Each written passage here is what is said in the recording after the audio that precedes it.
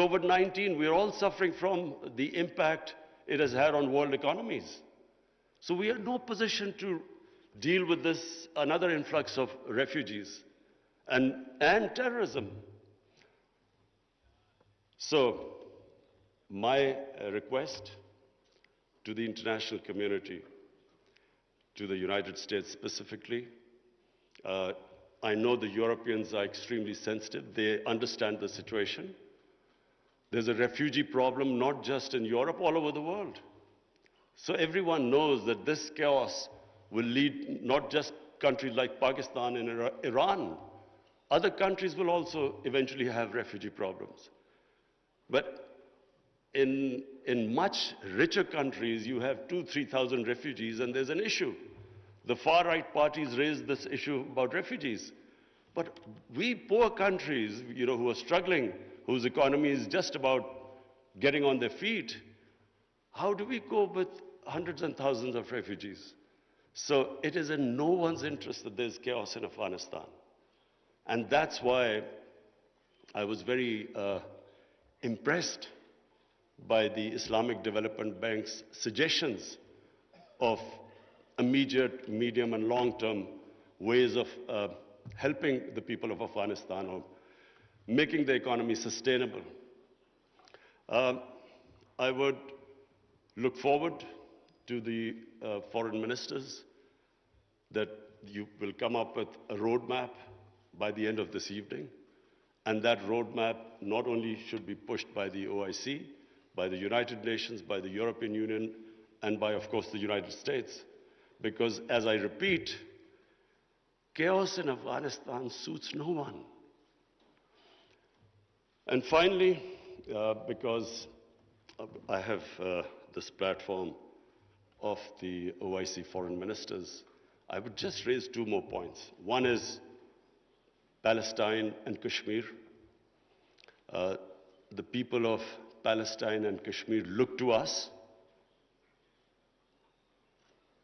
They, they want to see a unified response from us about their human rights, about their democratic rights, rights which United Nations Security Council resolutions have given them, and unfortunately not implemented. We should, on every forum, raise our voices and a unified stance. And lastly, I want to talk about Islamophobia. Unfortunately, the refugee crisis in Western countries has exacerbated Islamophobia.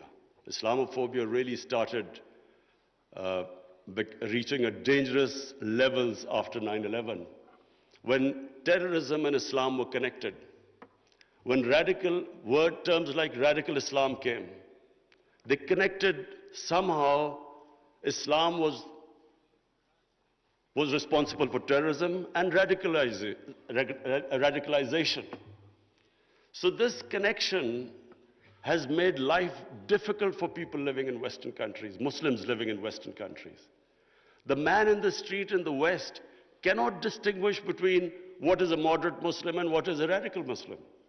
So you have stuff like in New Zealand, a man walks into a mosque and shoots 50 people. It's because these, this term, radical Islam, Islamic terrorism, they have to be delinked.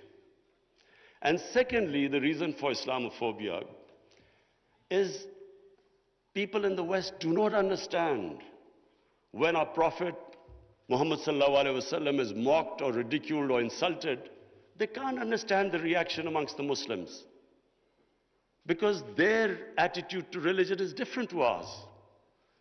So it's very important for the OIC to play its part in explaining to the Western world on forums like European Union, United Nations, their think tanks, making them understand. Rather than this gap growing between Muslims and non-Muslims because of inability to understand Islam, it is our responsibility in the OIC that we make them understand. Uh, we have in Pakistan formed an authority, it's called Rahmatul Alameen Authority. The purpose, The purpose is to have top Pakistani scholars